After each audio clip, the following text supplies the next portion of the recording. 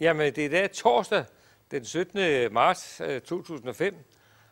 Vi er kørt ud hos den øh, omtrent pensionerede gardener, Ole Jespersen, for at se, øh, hvad kan man gøre for at få nogle øh, haveartikler ud i haven tidligt. Og Ole, han har jo øh, opbevaret en masse her. Og Ole, hvad er det, vi har her? Ja. For, foran os, der har vi en hortensia, som øh, skal stå næsten frostfrit. Den behøver ikke at stå frostfrit. Den er kørt ind i november måned, og så er den klippet ned med cirka en tredjedel.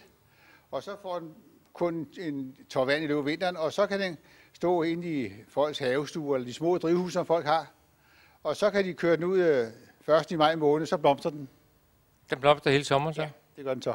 Du sagde en tredjedel, kan det passe? Ja, det kan passe, for ellers, hvis man øh, skærer den helt ned, så øh, kommer der ikke nogen blomster på. Fordi den sætter knopperne om efteråret, så derfor så skal man kun skære en tredjedel ned. Hvis man lader være med at skære ned, så kommer der kun blomster op i toppen, og så bliver den bare for neden, og så bliver det ikke nogen køn plante. Ole, det er forstået. Hvad har du, du har været på udflugt med din datter, har jeg hørt, ude på, nede på Sydsjælland, og købt nogle flotte juleroser. Fortæl lige om dem, Ole. Ja, juleroser, det er en, en af de få øh, blomster, som blomstrer om vinteren, og, og, og blomstrer nu. Og øh, der findes forskellige arter. Den mest almindelige er den hvide, vi har her, som øh, Øh, er meget yndet og brugt. Øh, og så er der den anden slags, som her orientalis. Den har mange forskellige nuancer. Og her er der blandt andet en, øh, en meget mørkerød en. Så der findes også to farver, også, også dobbelte. Og dem kan man godt plante om, e-, nu, og så have glæde af dem lang, en hel måned frem i tiden. Hvis man planter dem om efteråret, så får man mange gange blomster allerede ved juletid. Det er navnet julerose. Og så kan, øh, hvis det er en mild vinter, blomstre hele vinteren. Ole, hvor mange penge har du offeret på sådan en flot hvid en der? Øh, den øh, hvide der, den øh, øh, har jeg fået i guldbryllupsgave. Så jeg ved ikke, hvad den koster. Jeg har kun købt øh, de øh, farvede, og dem øh, gav jeg 30 kroner for stykket af, så det er til at overkomme. Men en almindelig plantskole, der koster de 80. Ole, så har vi hørt lidt om prisniveauet. Hvad er det, du har hernede under her? Det, ja, det er ned under juleroserne, de der pinder, det er fukser, gamle fukser, som har stået herinde hele vinteren siden i november måned og været dækket til med nogle modder. Og det kan enhver faktisk gøre, hvis de har et udhus eller en øh, vinterhave, som ikke de bruger. Så kører deres øh, fukser ind, og så sørger for at ryste bladene af dem. Dem får en deres frost, og så dæk dem til med votter eller tæpper eller gammel klude eller ja, gem dem ind i køles, øh, klædeskabet, det er lige mig. Og så kan man tage dem frem her omkring sidst i marts måned, den får lys, og så blomstrer de her i løbet af sommeren. Og man skal ikke køre dem ud på friland før midt i maj. Ole, det var drivhus 1. Nu går vi lige over i drivhus 2 og ser, hvad du har opbevaret derovre. Ole, hvornår øh, lægger man klar til kartofler?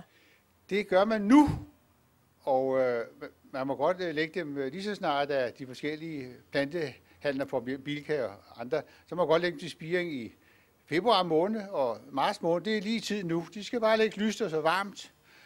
Helst, de skal være lyst, for ellers så får de alt for lange spiger, og så får man ikke nogen glæde af dem.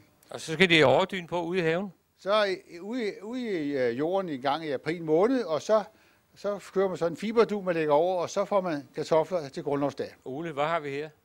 Her har vi camellia, som er en af mine yndlingsplanter, som blomstrer fra nu af og så til 1. maj. Og så sætter jeg den ud på friland i midt i maj måned, og så står den der til oktober, hvor den bliver kørt, kørt ind, i, hvor den står her. Det kan enhver have, som har en smule havestue. Den helst ikke varme om vinteren, ikke mere end 5 grader. For hvis man sætter dem ind i stuen, så smider den alle knopperne. Og det er synd for de folk, som køber kamelier ud i de forskellige plantehandler. Når de får den hjem i stuen i 20-22 grader, så smider de alle knopperne, så kan de ikke forstå det. Den kan ikke lide den varme, pludselig varme. Ole, det var Camellia. Ja. Så går vi lige herover. Jeg vender mig om. Vender mig om, Ole. Og Ole, hvad er vi her? Her har vi de, øh, det er hængepelargonier, som øh, stammer fra sidste år af. Og dem, øh, de skal, den kan man lave nogle nye stiklinger af nu her, hvis man lige tager sådan en her.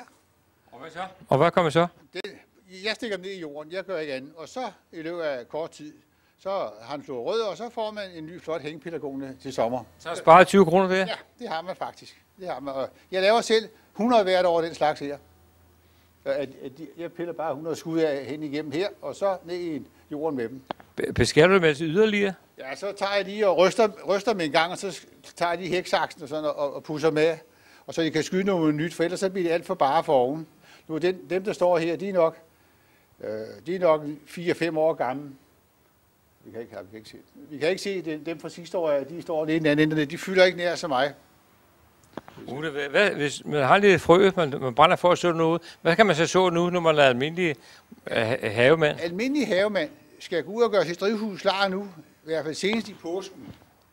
Og så kan, og, og se at få øh, ryddet op i det, det, det, og så få sået salat, radiser, og man kan så øh, spinat, og, ja, det, og så i løbet af kort tid, så har man, øh, løbet først i maj måned, har man på øh, til det grønne drøs ind til bordet. Det, det kan sås uden nogen form for tilskud af varme. Det er ikke selve øh, luft, luften, der varmer det op. Det grønne det drøs, det kan altså være dealer og måske lidt pullerøg, du sætter. De, Poløj, der kommer ud og graver en, en klump op ude i haven, og det sætter man ind i en stor urtpot eller en spand, eller man kan også grave frit ud i jorden. Og så uh, løber jeg kort tid, så skyder den op. Jeg skal sætte ud hen ind i morgen og grave op og sende ind af porløg. Og det, persille, har, uh, persille skal man så. Persille skal man så i august måned i et lille hjørne af drivhuset. Ja, det har vi glemt. Hvad gør vi så? Ja, så må man prøve på at så det nu, lige så snart jorden bliver beklemt, bekvem. Men der kan ske det, og der sker næsten altid for de folk, jeg snakker med, at persillefluen kommer og stikker dem. Så derfor et godt råd, så persille i august, både på friland og inde i jeres lille drivhus, så er I altid persille. Altid. Vi skal så besøge her i august, og lad dette være det sidste ord for dette korte udsendelse fra Haveparadiset.